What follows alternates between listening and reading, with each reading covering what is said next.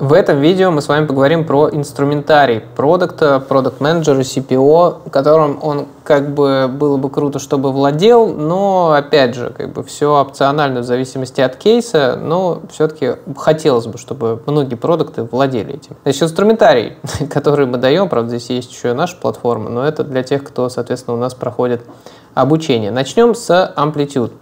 Amplitude — это, я бы сказал, отраслевой стандарт сквозной аналитики, который вообще в принципе есть, потому что амплитуд — это штука, которая обладает практически всем необходимым функционалом, который позволяет принимать решения на основе данных. Поскольку это одна из основных функций продукта, то есть принимать решения на основе правильных данных и правильно их принимать, то есть правильно интерпретировать эффективно, то, соответственно, Amplitude — это как раз тот инструмент, который позволяет это делать.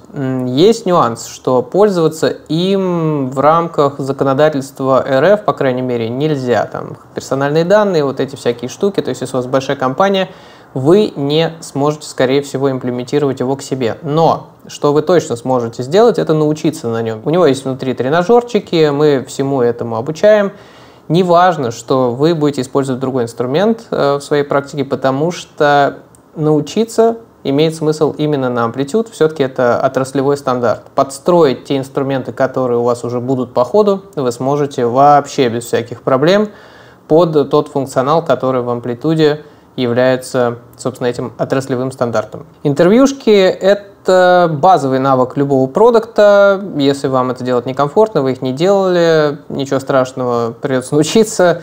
Если делали, то, скорее всего, просто придется скорректировать немножко подход к проведению интервью. Глубинные, пользовательские, качественные, короче, как угодно их называйте. В общем, главное — не бояться того момента, когда вы окажетесь лицом к лицу с вашим пользователем, и вам нужно будет из него вытянуть правду всеми возможными способами, про которые мы также вам расскажем. Ну, наверное, самый главный, доступный всегда в любом формате, в общем, где бы вы ни были и, в общем, в какой бы компании ни работали, это юнит-экономика. Ее считать классно, интересно, и для своего продукта очень полезно, будет ли он ваш или продукт компании. Как правило, когда вы ее считаете, понимаете, что бизнес-то вообще в целом, наверное, похож на убыточный, с учетом того, как там сейчас все работает. Такое часто бывает, такое типа ожидание реальность, но это нормально и все-таки классно, если вы понимаете, потому что хотя бы хотя бы какие-то метрики юнит-экономики, если вы научитесь э, выравнивать в вашем продукте,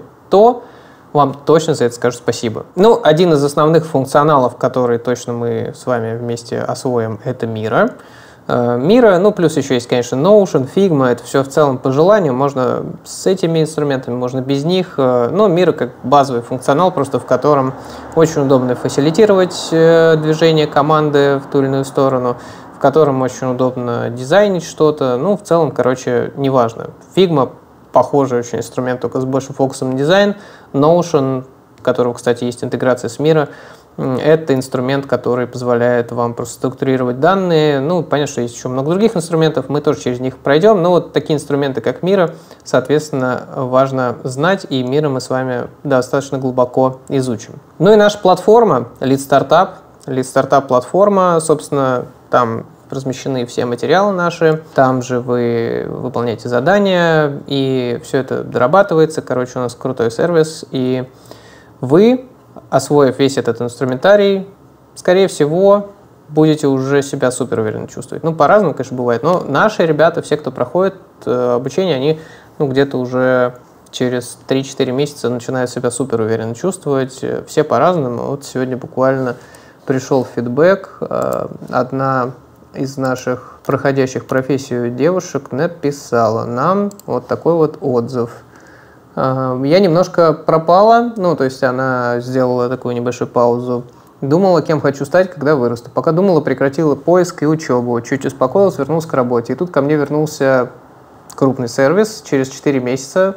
Обратились в мае, попросили еще один собес, и сегодня я получила жирный офер. Ну вот, как бы... И чувствует она себя уже уверенно. А до этого чувствовала не супер уверенно, но кажется, мы помогли с этим справиться. В общем-то, примерно так это и работает.